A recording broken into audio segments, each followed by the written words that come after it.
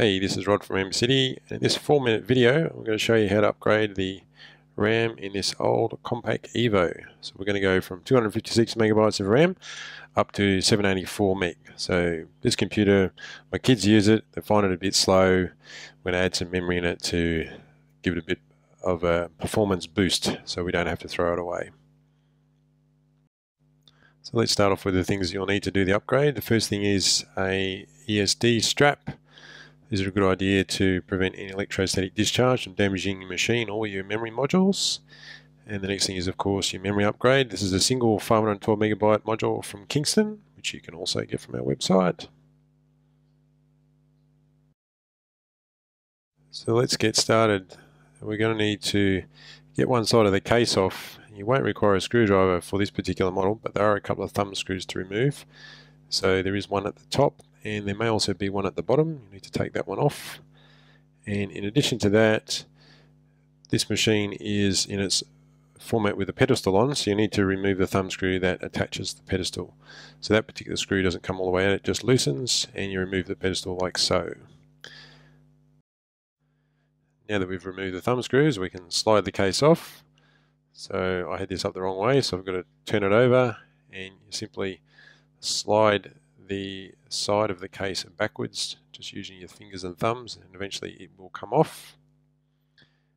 And just lift the case away, put it to one side, and the memory slots are just out of shot. They're just where I'm pointing there. Now I'm just putting on the ESD strap. One end goes around your wrist, and the other end has a sticky label on it. You'll need to remove that, and then you apply the sticky part to the metal part of the case and that'll make sure that you're protected against any electrostatic discharge. Now we can go ahead and handle our modules, take them out of their anti-static clamshell and always handle them by the edges. Now that we've got the module out of the clamshell, note there's a slot here on the module.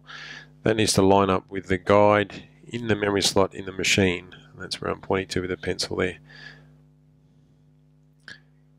And you also need to make sure the clips on either side of the memory slot are out so that you can insert the module.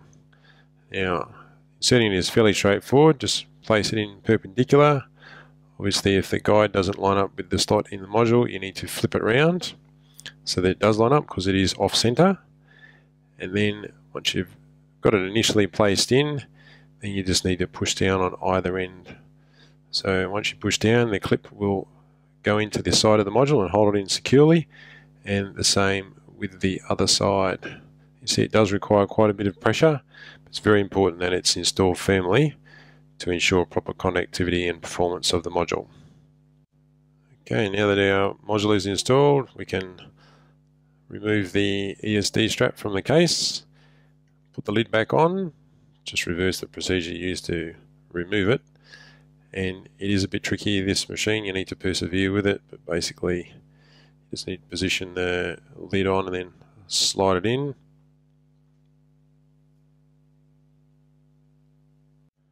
And we put back in our thumb screws.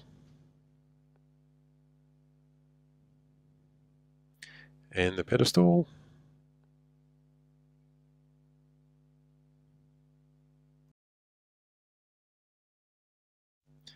And that's it, mission accomplished. This machine now performs a whole lot better and the kids really like it. So if you've enjoyed this video, uh, please put a comment below, subscribe to our YouTube channel, and if you have any questions, put them in the comments below as well. And thanks for watching.